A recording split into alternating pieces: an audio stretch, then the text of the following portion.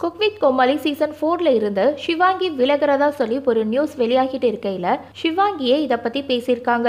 ஷிவாங்கி மேலும் என்னெல்லாம் சொல்லியிருக்காங்கன்னு நம்ம இப்போ இந்த வீடியோல தெளிவா பார்க்கலாம். அதுக்கு முன்ன நீங்க இன்னும் நம்ம சேனலை சப்ஸ்கிரைப் பண்ணாம இருந்தா மறக்காம சப்ஸ்கிரைப் பண்ணிக்கோங்க. கூடவே பக்கத்துல இருக்க பெல் ஐக்கனையும் கிளிக் பண்ணிக்கோங்க. கடந்த வாரம் குக் வித் கோமாளி இம்யூனிட்டி ரவுண்ட்ல ஷிவாங்கி குக் பண்ண முடியாதுன்னு சொன்னதுக்கு செஃப்ஸ் ரெண்டு பேர்கிட்டயுமே பயங்கரமா திட்டு வாங்கினாங்க. ஷிவாங்கி அப்பவே ஒரு மாதிரி சோகமாயிட்டாங்க இந்த ரவுண்ட்ல ரொம்பவே டென்ஷனா குக் பண்ணி முடிச்சாங்க. குக் வித் கோமாளில ஷிவாங்கியவே டார்கெட் பண்ணி அவங்களுக்கு கஷ்டமா வர மாதிரி பண்ணிட்டு வராங்க. இந்த ஒரு காரணத்துக்காகவே Shivangi cook with Komali season போர்ல இருந்து குவிட் பண்றதா சொல்லி சில சோஷியல் மீடியா பேஜ்ல போஸ்ட் பண்ண ஆரம்பிச்சிட்டாங்க. இத பார்த்த ஷிவாங்கி என்ன சொல்லியிருக்காங்கன்னா டஃப் சுச்சுவேஷன் எல்லோருக்கும் தான் வரும். அந்த டைம்ல திரும்ப பாவக்காய் வரவும் நான் டோட்டலா பிளாங்க் ஆயிட்டேன். எனக்கு அதுல தெரிஞ்ச ஒரே டிஷ் அதை போன எபிசோட்ல பண்ணிட்டேன். அதுவே திரும்ப பண்ணக்கூடாது. அதனால தான் செஃப்ஸ் கிட்ட குக் பண்ணலைன்னு சொன்னேன். அவங்க பேசுனது எனக்கு கஷ்டமா இருந்தது. என்னால அழுகைய கண்ட்ரோல் பண்ணவே முடியல.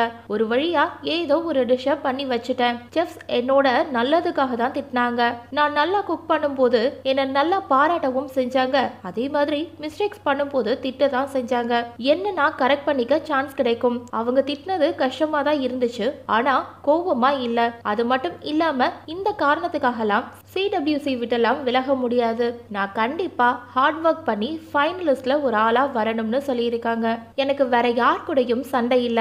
நான் குக் வித் கோமாளி சீசன் ஃபோர்ல இருந்து விலக போறதும் இல்ல. ப்ளீஸ் தப்பான செய்திகளை போடாதீங்கன்னு சொல்லி முடிச்சிருக்காங்க. இந்த வீடியோவை பார்த்துட்டு இருக்க நீங்க சிவாங்கி சொல்லியிருக்க இந்த விஷயங்களை பத்தி நீங்க என்ன நினைக்கிறீங்கன்னு மறக்காம நம்ம கமெண்ட் செக்ஷன்ல ஷேர் பண்ணிக்கோங்க. மேலும் இது போல பல வீடியோஸை பார்க்க தமிழ் லைவ் த்ரீ சிக்ஸ்டி சேனலை மறக்காம சப்ஸ்கிரைப் பண்ணிக்கோங்க.